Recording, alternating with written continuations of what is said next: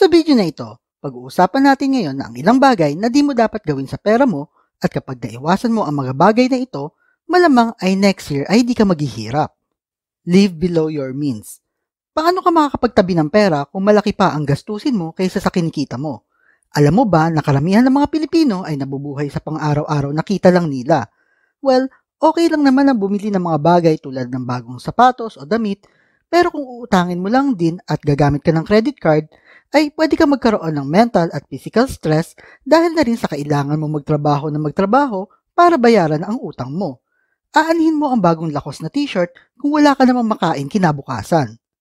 At kung gusto niyo mga tips kung paano mag-ipon ng pera kahit maliit ang kita nyo, may video akong ginawa at makikita niyo yung link sa description ng videong ito.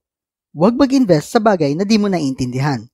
Paulit-ulit ko na lang pinapaalala ito pero ang dami-daming tao pa rin ang nag invest at sumusunod sila sa uso o kaya naman ay nagpapadala sa hype na nakikita nila sa social media at nag invest sila sa mga bagay which is para sa akin ay beyond their level of comprehension para lang malugi sa huli. Sabi nga ni Warren Buffett, invest in what you know and nothing more. Kaya kung mapapansin nyo, ay sa simpleng companies lang siya nag invest tulad ng Coca-Cola at hindi sa mga tech companies dahil nga sa hindi niya daw naiintindihan yon. At sa mga gusto mag-invest sa Philippine stock market, may guide akong ginawa at makikita niyo yung link sa description ng videong ito. Huwag kang magpautang ng pera kung kailangan mo rin naman.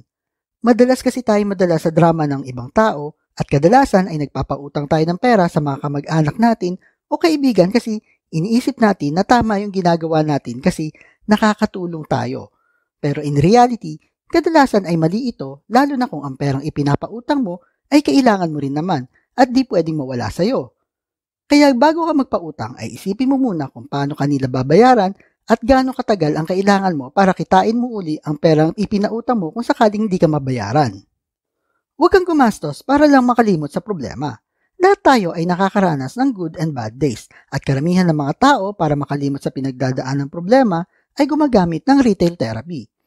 Ito yung paraan ng gagastos ka para maka-experience ng panandali ang comfort o kasiyahan sa buhay. Nandyan yung bibili ka ng mga bagay, pagkain o magiinom at tulad pa ng ibang addiction.